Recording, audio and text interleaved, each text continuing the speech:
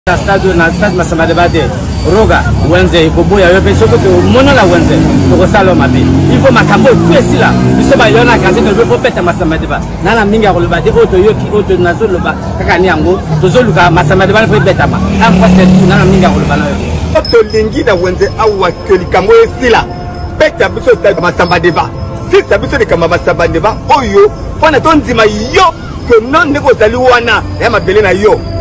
donc soki osala yango te misi vraiment ekosimba te ezala biso te na wenza toyali nsima na yo toyebi kena tokosoutenir yo mais yo beta yango nalobi ka u tobebani u toke liboso nakoloba noka bongo naokomprendre te position na ye est ce que aza na bomo ya masamba deba toni soki amwana mboki fo abeta biso masamba te ou au cas contraire alongola mboka oyo achange nationalité achange na ye base soki akoyoka te akoyaka kaka tobandaka kotobole bapine topanze baparapluise lelo to na posa avant nzungu il faut topesa biso date oyo tokoyoka na yango mbala liboso ou sorti officielle ya nzungu il faut ezala na masamba te Je crois bien oyoka ngai et que comme à côté na message on a kolobo il faut comme chez yo. Roga roga biso na zolo bana para ba mama ya Congo nyoso. tolingi yo beta biso obeta na stade wana na stade de la révolution tolingi yo beta yango parce que soki yo beti kuna te tokobengana yo kaka badésert mpe yali ebele besobe yali ebele oluki place noki ovanda parce que tolingi yo beta kuna roga stade wana nayebi eloko abanga soki abeti masamba te bata kopanga méchant nga na kanda na ye parce que c'est un musicien qui fait la fierté mais abetaka stade na biso ke na kobeta bakote mosusu biso akosaka biso na corniche wana donc si c'est comme ça tokoya kozwa ye na ndako na ye nga na koneso na capable toke tobimisi na ndako na ye meme avec guitare akobeta stade wana ye moko fo abeta stade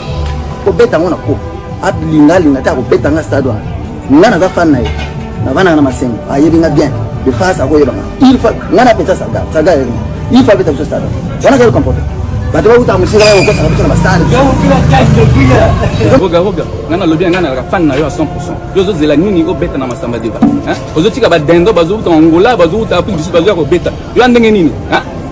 moto osalaka te biso tozozela yo osala mwa plein wana succès eza déjà yo oza na top succès ozozela nini obeta masamba deba biso ete fan on t'attend pour réaliser une chose bonne yo ozozela moto esila après ke elobi okoloba na biso ke tokende tosoutenir wana masamba deba nayebi te vieux ye motu nasalaka te obia nini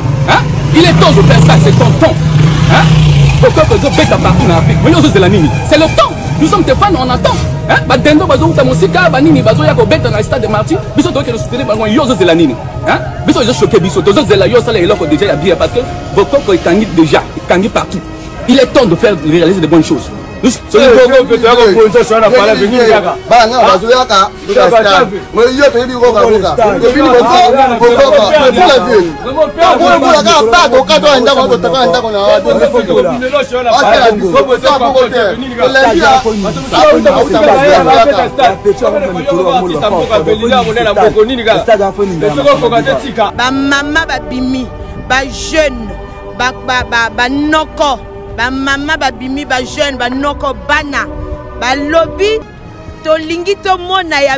biso lampadaire tolingi tomona ya biso roga roga oyo asalaka fierte na biso ya lokongo akobeta na masamba deba akobeta actuellement fali pupa apreside kandi olobi baa na bonne relation na frère na ye fali pupa me bato ntango mosusu bakanisi ye mpe na concert yango bakomona surprise ya rogaroga bato mosusu balobi rogaroga akimi brazzaville mpo fali akobeta non pas du tout en fait roga il est là euh, son frère fali presté na, na le congo Et euh, il a eu tout son soutien de son frère. Hein. Ça, il faut le dire. Hein. Roga, il a porté tout son soutien à, Fali, qui est son frère. Euh, voilà, basala Ramo Salamoko, basala na Yaya, polemique kuna eza te donc euh, voilà quoi parce que tomoni message te nde ezala peut-être na bavideo je sais pas soit sali yango en privé mais nde tomona na bavideo apesi grotte force parce que bato baoloba oyo ezolobama ma na internet c'est pour cela ke ngai na ramene yango awa yango gakimi brazzaville parce que aye na paris azalaki ndeti na programme te yango aye chini chikulu chitazonza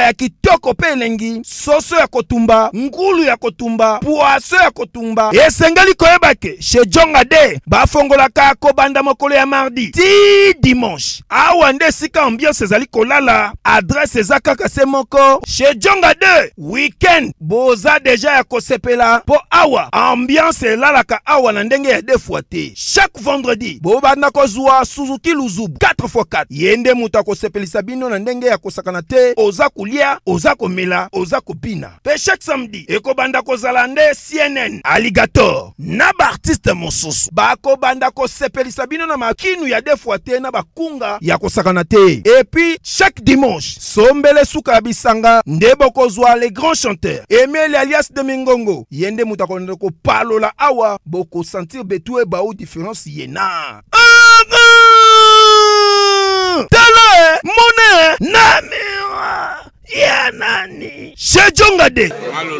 Oui, frère, Babi Tchonga, futur, futur, hein? moto akosala 50 boite na kati ya kin sejongaske soki olingi osala bareservation obengi na banimero oyo mpe bakoservir yo joli kitoko shejonga de yango nde moboko ya ambiance na kati ya paris se naturel soin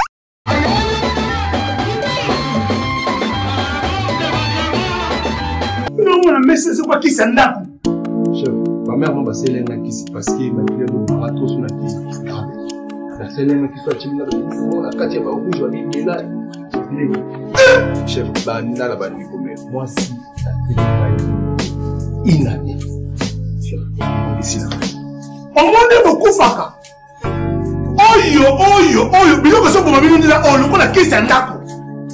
papa oyebi te ke laboratoire me ya misine esene biso solution wuta kala ignorant zela na zali omoni oyo siminalisi sipo suppositoire oyo siminalisi comprime oyo na ba hémoroïde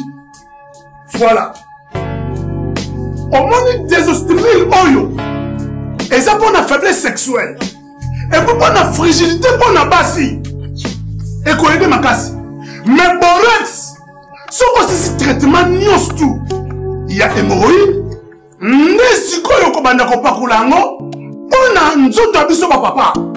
soki mpo olingi omesire basantimetre no avant banda kopakola mpo mokolo kosilisa okomesire lisusu okomonake box toujours champion okomprendre bakisi oyo nyonso nayakisi yo okozonga esika mosusu te na congo kaka na laboratoire me ya misine epuis esalami na banzete ya congo banzete kaka ya congo banzete mosusu te ya congo nde mama nakosi eh, wana nde akulunga bores oyo mobali na nga asalela bores oyo soko na bores oyo te me mobali na nga nzoto na ezonga ya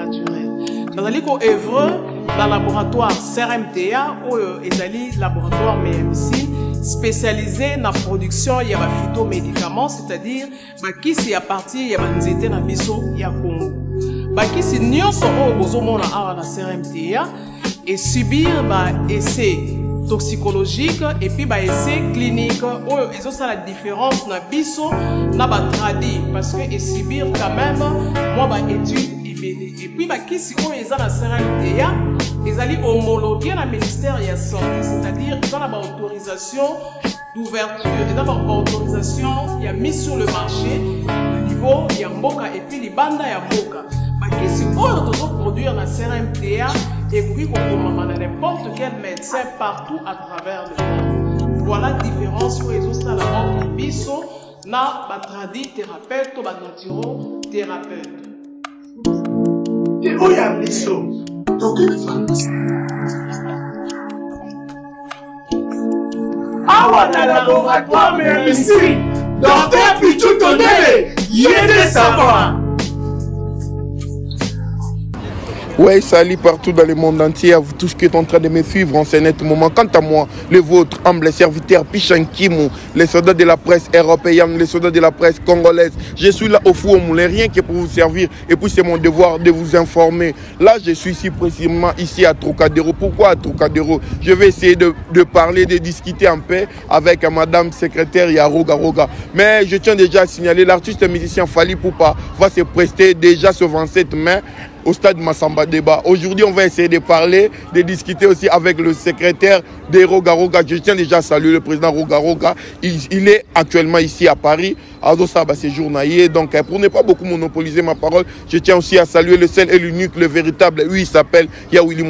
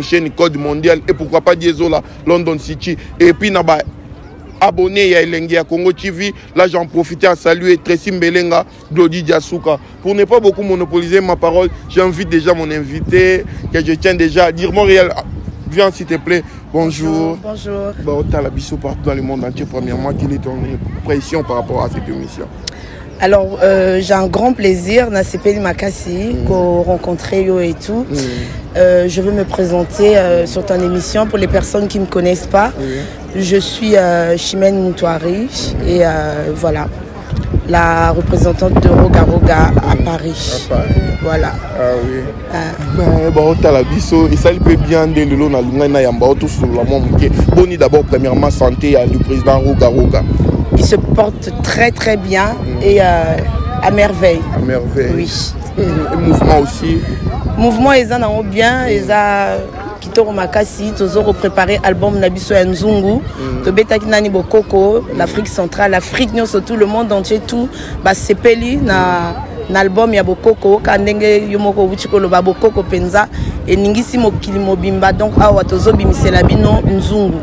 donc euh, voilà quoi Zulu, mais si je me trompe pas le président Rogaruga abetaki concert na ye moko lobi ezalaki soki gezu ezalaki vraiment concert mais pourquoi tomonaka de fois ayaka na bamusicien mais turo aye na bamusicien te mpo ani nabangaki nde bamusicien ya nouvel horizon bakimaki ye bamoni toko bamusicienc'était qu'on fait non non non pas du tout oyebi président na biso kane nalobaka naloba na biso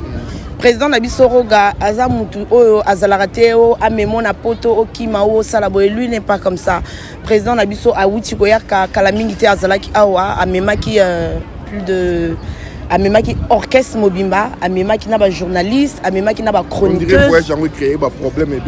non non non non pas du tout baoyo bayakaki baoyo bamonaki ke ifale batikala batikalaki na ndenge na bango orchestre na biso baoyo bamonaki ifale bazonga bazongi bacontinue ba, ba, ba toujours kosala mosala na bango baocontinue toujours kosala mosala ndenge basalaki mosala ya bokoko awa na minute oyo baosala mosala ya nzungu mpenza nzungu eza na moto ezobela bazolamba nzungu nzungu ezobela bakala mingi te bilia ekobela tokolia est ce que eza ya raison te yango moni ya bamisien toko batikali te eza ke ye aye ayi na orchestre te ye aye na bachroniqueur ba mosusu ayi mpe na bamusicien mosusu apreste ke lobi bavideo ekobima donc euh, voilà quoi Mm, bato mosusu balobi ano ah, amemi artiste wana par rapport ke bayokanaka te na tidiane mario ndenge mpe fali pupa bakomi ozala trop na tidiane mario yango président rogaroga amemi artiste non pas du tout non tu sais mon frère aujourd'hui je veux faire passer euh, ce message vous savez fali pupa c'est euh, c'est le frère de roga donc euh, bato oyo bazokotisa bapolémique wana c'est parce que bayebi te fali pupa aza na admi admiration ebele na frère na ye roga roga e roga roga euh, aza na admi administration aza na admi admiration ebele na, na frère na biso fali pupa bango mibale basalaka musique moko mais na minute oyo na kati ya bapolémique wana vraiment euh, moi je n'en sais rien mais euh, moi je suis là à parler de, de, de roga et euh, à te répondre par rapport aux questions que tu vas me poser maintenant sur fali c'est C'est nos artistes. Et de sur quoi euh, Fali, il, est en train de faire la fierté du Congo démocratique. Et Roga, il est en train de faire notre fierté de, de, de ya Congo Nabiso et à Congo Brazzaville. Donc, euh, c'est des frères, c'est... Yo, mon arbango, tango bazalara sur scène. Euh, nazo, na monaki, baki na, na Abidjan. Euh, omonaki ntango bazalaka leki na yaya basepelaka bapromettre biso meme euh, featuring moko boye donc biso moto tolingaka bamiziki na biso ya mboka tozozela bango basala biso featuring wana donc euh, tozozela toujours so na ngai personnellement eza que namona bafrère na ngai to mibale basalela biso featuring parce que koko wana ekozala koko na bafeaturing Maintenant, sur, euh, pour te répondre sur ce que tu viens de me dire, moi, j'ai pas de polémique à faire. Tu sais que Nganaza, euh, une rogacienne, elle parie. donc euh, bapolémike ya miziki ya mboka nayebi na nga ata elomo te nga soki otuni nga makambo ya poto miziki ya poto nakoloba okobunga te ata mosusu d'origine na yo bino te donc eh, wana eza deja makambo emona en plus internet eza wana eramene biso ce qui se passe actuellement fali pupa apresite kando olobi baa na bonne relation na frère na ye fali pupa me bato ntango mosusu bakanisi ye mpe na concert yango bakomona surprise ya rogaroga bato mosusu balobi rogaroga akimi brazzaville po fali akobeta non pas du tout en fait roga il est là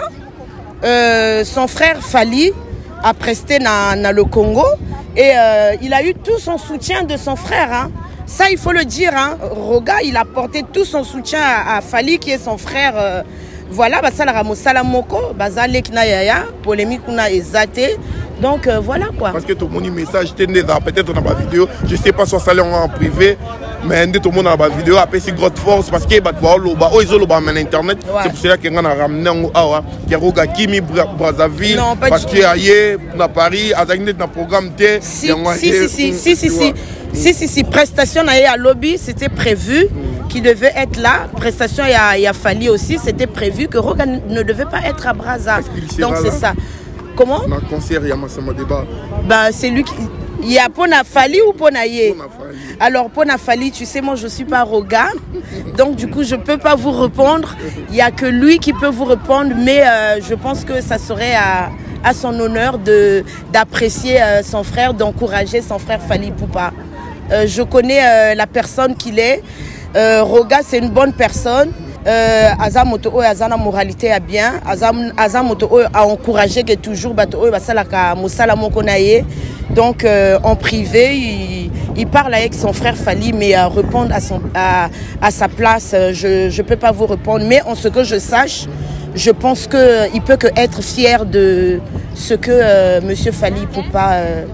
va faire. Ok, merci. Là, c'est sans polémique. Donc, je te tout souhaiter ma bonne chance. L'artiste et musicien Fali pour l'orchestre orchestre mon bimba. On a concert bango il y a le 27 mai au stade Massamba Débat. Donc, euh,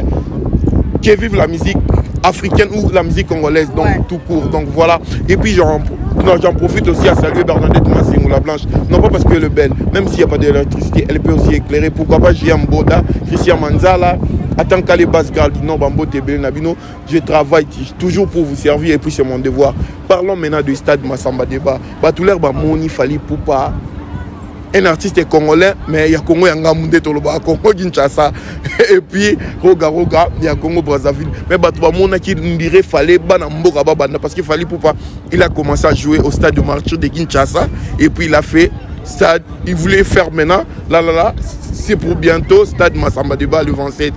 pourquoi pas groga roga na confiance nyonso na long parcours na ye parce que les grands il fait aussi la fierté de la musique ouais. africaine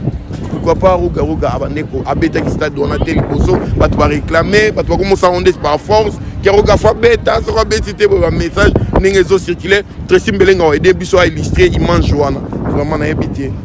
alors juste pour te répondre sur, euh, sur ta question mm -hmm. tu sais euh,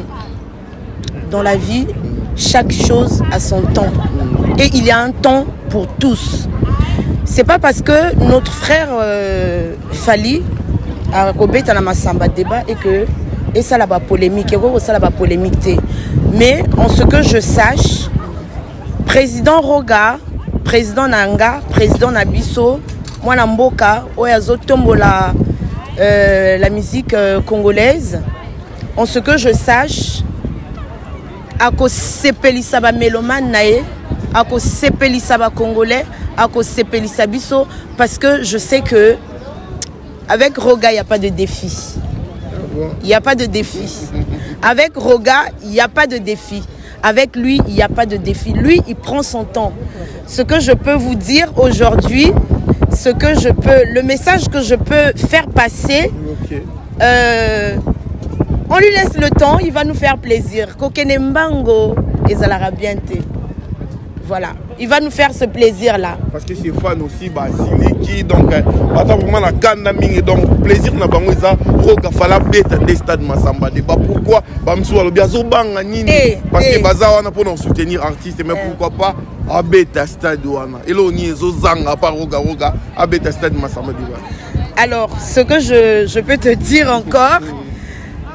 euh,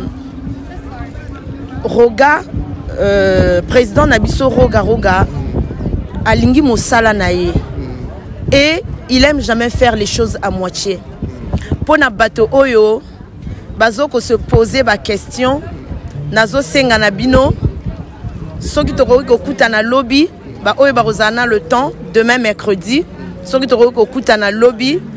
euh, à partir de 16 heures tokutana awa na trocadero surprise ekozala baquestion mosusu net oyo opose ngai akobeta oyo akobeta te nalingi réponse euta epa na ye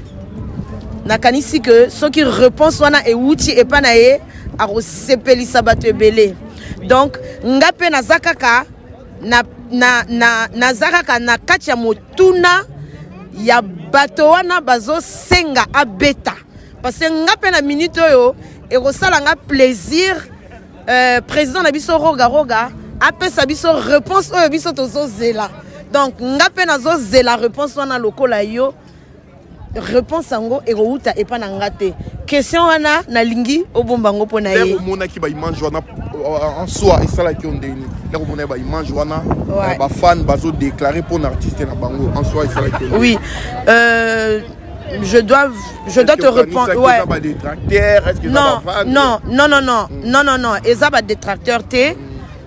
euh, pour moi namoni que baza na raison balingi artiste na bango balingi moto oyo azotombola miziki na biso balingi mpe bamona ye abeta na masamba débat me réponse wana ekozala epai na ye maintenant euh, namoni yango mabe te namoni yango mabe te soki ye moko euh, prezi mon prezi soki amoni yango mabe te nde nini ngai nakomona yango mabe mais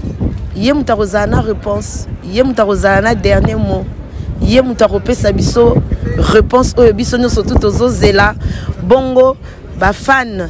ya musique congolaise bafane ya roga roga missile lampadaire bafane baoyo babini na nzembo ya bokoko baoyo bazozela nzungu balingi mpe nzungu yango babina yango na bayoka yango na masamba deba wana biso tokozala kaka na motuya eyano ekowuta epa na ye mm. mais sinon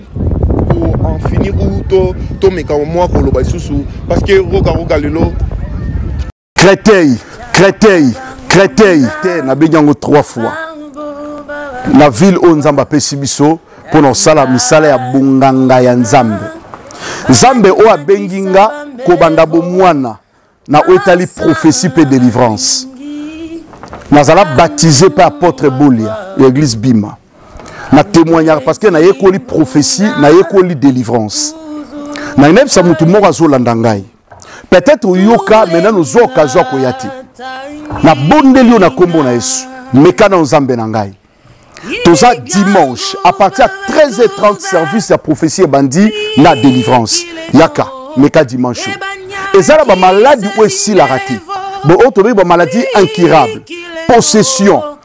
ozolanda moza kodute longola na duti yango pembeni meka na nzambe napesi yo nimero ya contact benga ndenge ozolanda sikoyo 07 66 27 40 02 obota te oa na problème ya santé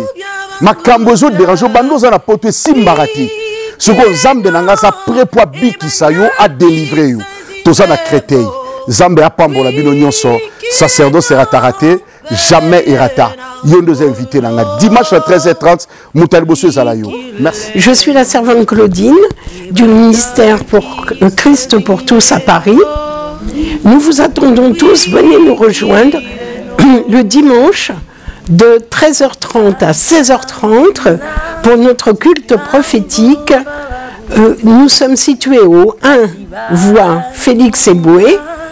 à Créteil très près du, de la CAF, en face de la CAF et près de l'hôpital Henri Mondor. Venez nombreux, nous vous attendons tous. Merci.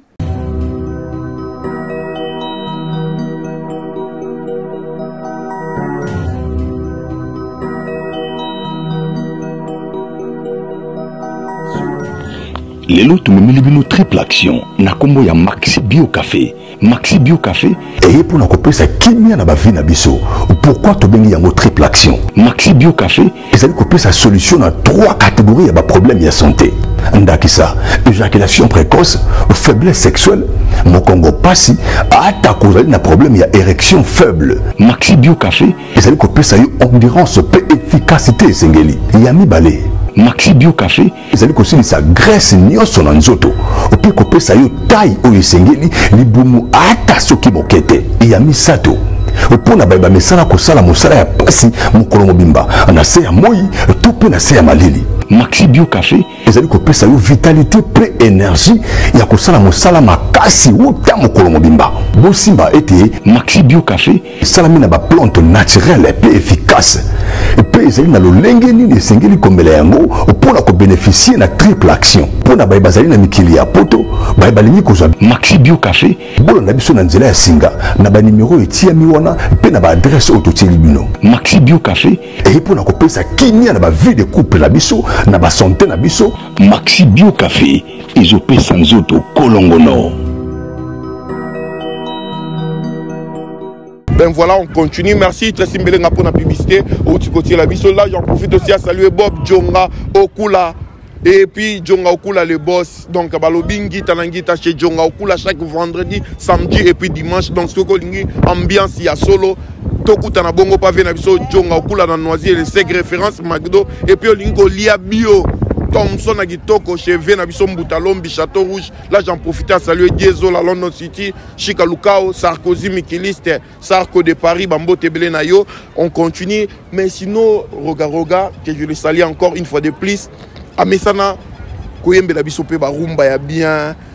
mais lelo ndeti akoti na vent wana nde tozwaki bokoko esimbi mpe aomema biso toujours na baseben me bato baosepela na ye mpe ndeti abeta mpe barumba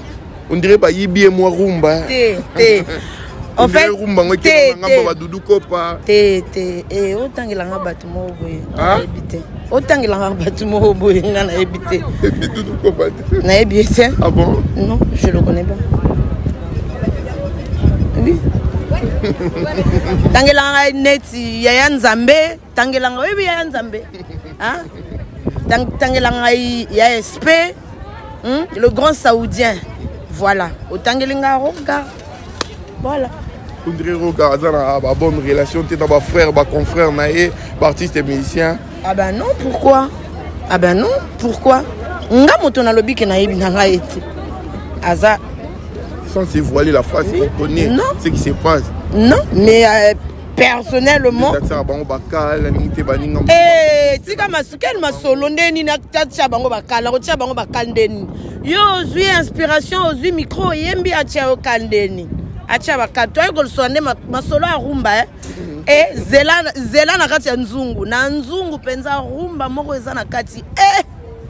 nzungu eza opus moko te eza album oyo ebima nkombo nango nzungu voilà oui oui eza album ezobima nkombo nango nzungu donc du coup na, na kati ya nzungu rumba mpe ekozala afidika banani afidika banani ya nzungu tozolamba te bo yo yo eza nzungu azolamba tozolamba bilia eza na moto nani ebeli te okomi ononga nayi na sani nalingi na zela nanu bilia nani ebeli te onga nayi na kopo onga nayi na lutu nazwa ata supu eza nzungu bilia ezobela eza nzungu maintenant tika sikoyo oyeba quel bilia ya nzungu ti omoi na section eh? voilà je te laisse parler mais si omoi na section ya nzungu orempone eza nzungu na kati ya nzungu biloko nyonso to ezalaka na kati bandembi batiaka na kati ntango balambaka omoni ka basaisonnement tout ezala na kati après na nsima bilia ebeli chaque mutu akomi koya ah, ngai nalingi boya ah, ngai nalingi boya ah, ngai nalingi nani oyo na ngai voilà à part roga roga nani so asa fierté so wabi otanga trois artistes oyo baosa fierté ya musique congolaise Honnêtement, hmm. honnêtement, hmm.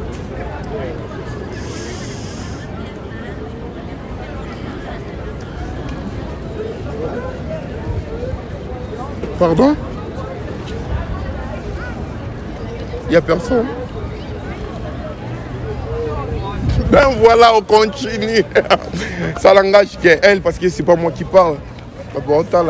bato bazotala ngai tu sais c'est comme je t'ai dit tout à l'heure euh, c'est comme je t'ai dit tout à l'heure j'aimerais pas nakolinga na cite bakombo ya bato oyo bazosala miziki te parce que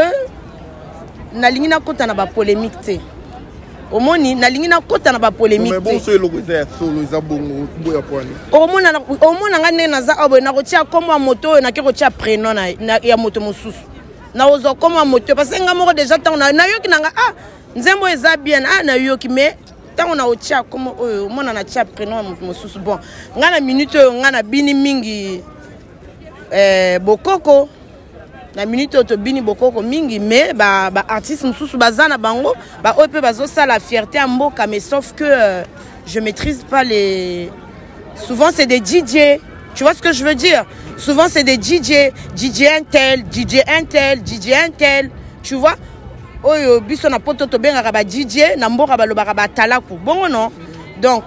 nayebi na nga ba dj oyo mpe bazosala buzz bazali ba mais nakozala embrouille na bakombo na bango donc nalingi natanga bakombo na bango te mpo na kozala embrouille mais nayokaka banzembo eza na badj misusu bazoyemba mpenza ofandi mpe oyoki mpe ngbasu mais osepeli mpe mais na, na bakombo nakoyeba te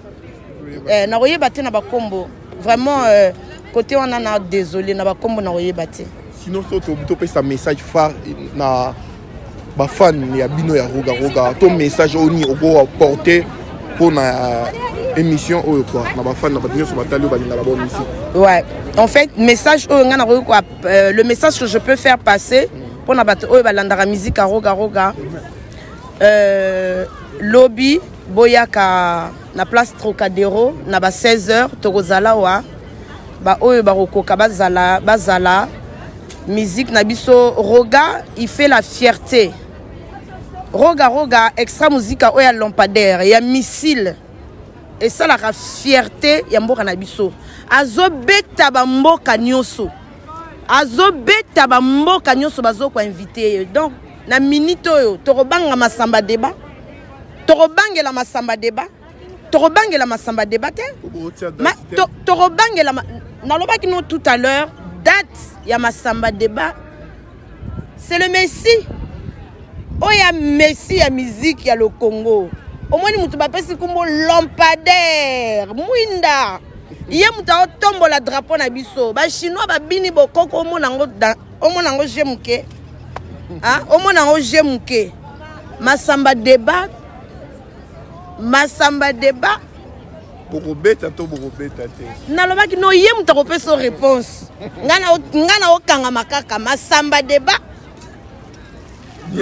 masamba deba ye moto akopesa réponse ngai nazotingama kaka masamba deba papi masamba deba nalobi papia le grand père papi masamba deba rogaroga missile qui vivra verra qui vivra verra comme tu as dit donc euh, tozela totala tozela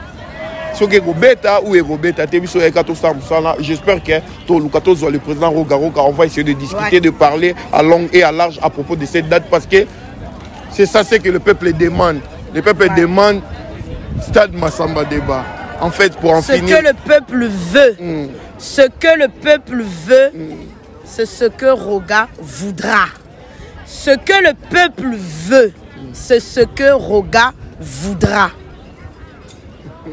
le peuple veut voir Roga à Massamba débat. Ça sera pour la toute première fois.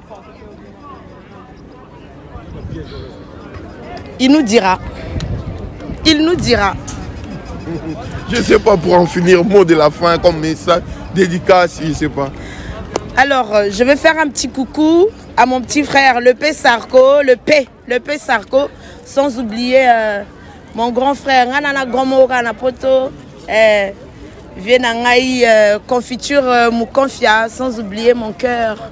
mwasi azanga mbanda mobali azanga mbanda alexis dispele na producteur na ngai makasi monsieur elvis ngatie ntango namonake eh, ekwei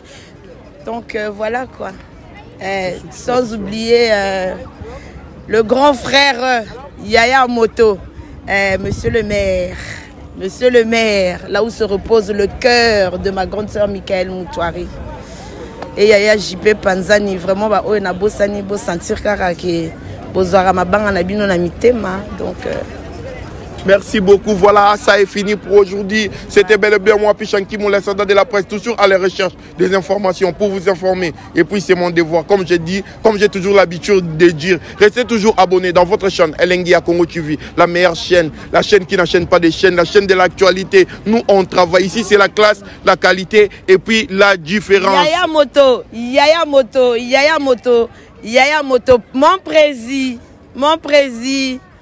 Mon président, tozozela kaka yaya tolingi opesa biso réponse. Maître digital, kamata bisous. Allez, merci, merci beaucoup. Là, j'en profite à saluer chez Issan Zembele, voix ma bambote belé na yo. Et pourquoi pas JB. Donc euh, là, j'en profite à saluer depuis Dallas Spirit Lombo, bambote belé na yo. Et puis qui encore euh, Krakerbak internationalité, Jiambo Dabambo Tebele Nayo, dans les grands pétroliers. JB, donc Bambote Ebele Nayo na Musiko Zotala Biso, ça est fini pour aujourd'hui. Partagez massivement cette émission. Ben voilà, voilà, là j'en profite aussi à saluer le président Gatier Bokole et puis JB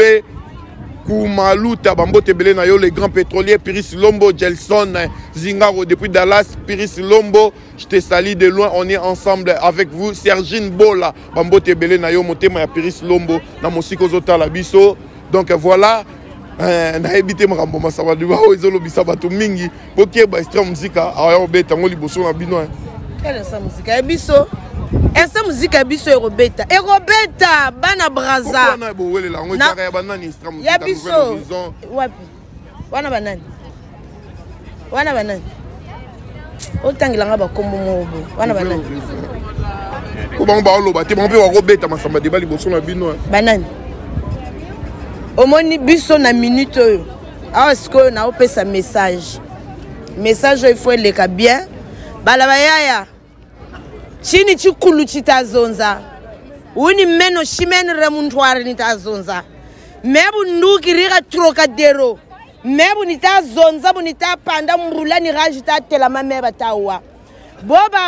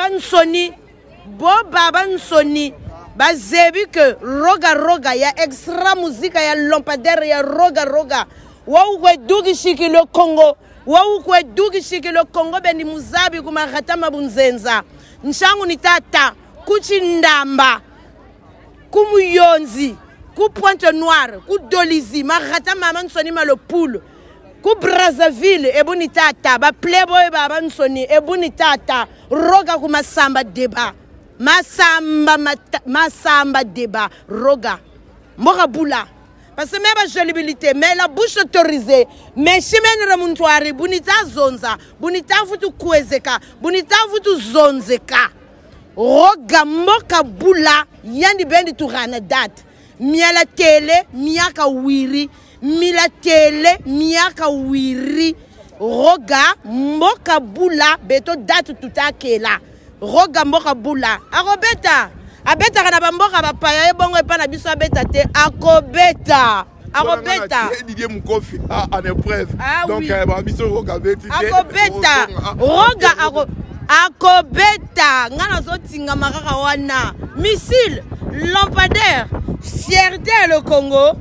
e eh, esika nzungu ezobela botika moto oyo nana confiance na ye c'est pas pour rien ngai na nga c'est pas pour rien nalataka ye tika yaya moto akobeta masamba deba akobeta na masamba deba kumasamba deba bulaka bula donc bobuni tata bulaka bula oyebi bulaka bula ça veut dire nini bulaka bula donc il va casser bulaka bula akobeta na lingala me biso na kikongo balobaka bulaka bulako akopanza yango omoni donc na traduire yo bulaka bulako akopanza yango voilà donc ngai nayebi ke akobeta akobeta sikoyo date eza na maboko na ye tala bosakanaka na moto oyo te moto oyo missile eh! merci beaucoup ça est fini pour aujourd'hui merci beaucoup wana ezalaki message phare oyo bapesaki ah mpo na concert ya masa badeba mpo na clore badeba wana to baactualité oyo ebimaki ayoki mbela ayoki mbela mm. ayoki mbela ayoki mbela ayoki bilelo bamama babimi bajeune banoko ba, ba, ba, ba bamama babimi bajeune banoko bana balobi tolingi tomona ya biso lampadaire tolingi tomona ya biso roga roga oyo asalaka fierte na biso ya lokongo akobeta na masamba debat akobeta en passant nalingi napesa nalingi napesa mwa vite fait bambote moko boye epai ya grand frère na nga fael image ya guy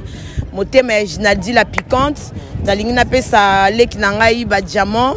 berline babizou ya trop pivoine aussi je te sali depuis point noir dianza dembe la bambote na yo pesa bino babizou mm. babel kadi kadi kadi ba 10 000 kara baya novi bino nyonso tu baoyo balingaka bajolibilité napesi bino babizou ya trop donc euh, tomema yango kaka qui vivra verra mm, qui vivra verra